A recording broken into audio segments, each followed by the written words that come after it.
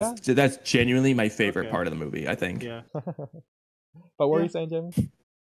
Yeah, how would you conclude it at the movie though? If Momoshiki comes down, like is Mo- Mo- is Momoshiki? If you were to rewrite it, would Momoshiki just be like, or Angus uh, Kinshiki? Would they just be the two last Otsutsukis, or were we just supposed to expect that? Yeah, Otsutsukis are never going to come down again, and that's just it. I think the best way to do it would probably just have them be the last Otsutsukis or something, or just make the Otsutsukis like one small family or something. Like just have Kinshiki be Momoshiki's genuine dad. Yeah. Kaguya would just be like the sister of Momoshiki or something. Yeah. And then we would just explain how they got to their level of power in like in a very quick and concise way, or just say they are the last of the clan.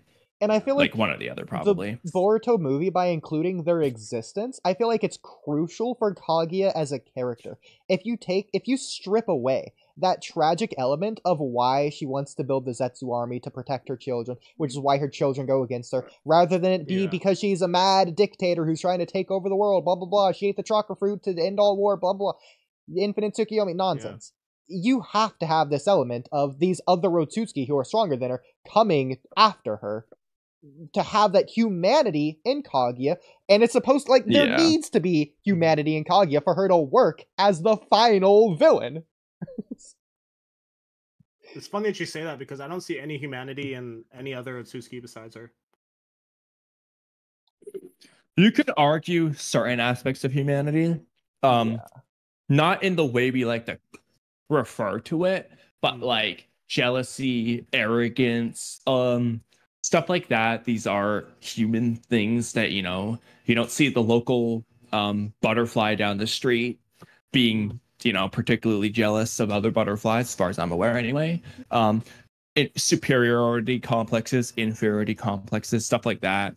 Yeah, These are human traits. You could Seven argue but the way we're really referring to it is different, which is only relevant in Kaguya. Now, you I know, will things say- like love and caring and stuff. Yeah. Yeah, I will say this is a little bit of a stretch. This sort of goes in line with Kamui's thing, but it's like a muddy ground. Jigen obviously didn't care about Kawaki, but he was raising him as a like a child, like as his dad. He became his foster dad, adopted him. He was hugging him at the very, very end. Like obviously he wasn't hugging him out of love, but again, like he has to be a dad to Kawaki to be wrong so that Naruto's the right dad to Kawaki because Isshiki Yeah. versus Naruto is about who's the correct dad for Kawaki and how they go about being a dad. So Jigen has to be a dad and care about him as a dad for him to be relevant because like it's not like Kawaki's biological father was the antagonist of the arc or anything because he didn't care. Jigen cared oh, about Oh, him yeah, as a say, child. yeah. Doesn't make sense.